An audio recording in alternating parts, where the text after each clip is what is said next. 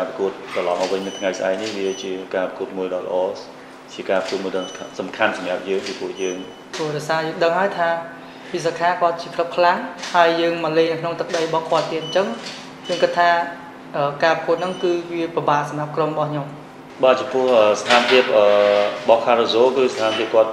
គាត់ត្រូវការរយៈពេលវែងព្រោះការសម្រាប់នៅព្យាបាលត្រឡប់មកវិញអញ្ចឹង យើងអត់ទាន់ដឹងថាពេលដែលគាត់ជាហើយគាត់ត្រឡប់មកវិញនៅក្នុងចន្លោះណាទៀតតែក្នុងចន្លោះគឺ4ទៅ5ខែបាទយើងបានត្រៀមផ្លាស់ប្ដូរមួយចំនួន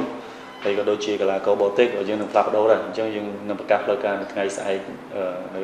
ប្រហែលថ្ងៃខាងមុខនេះផងដែរបាទអឺនិយាយទៅសម្រាប់ខ្ញុំខ្ញុំអត់មានអីនិយាយក្រៅពីយើងមានថាជំរុញទឹកចិត្តកីឡាករទាំងអស់ហើយគាត់ខំប្រឹងប្រែង លេងអស់ពីសមត្ថភាពហើយលទ្ធផលយ៉ាងណាយើងអត់ទាន់ដឹងដូចគ្នាកីឡាករជាពិសេសកីឡាករជាមួយជាតិកីឡាករក្នុងស្រុករបស់គាត់គឺកីឡាករល្អល្អ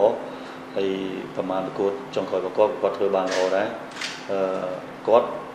ក៏ចង់បានបែបបន្ទូ um and uh, it's a case of us um, preparing for that um, preparing for their dangerous players um, and uh, hopefully បោះពួកយើងព្រោះអឺ នេះជាទឹកដីពួកយើងយើងពួកយើងអត់ចង់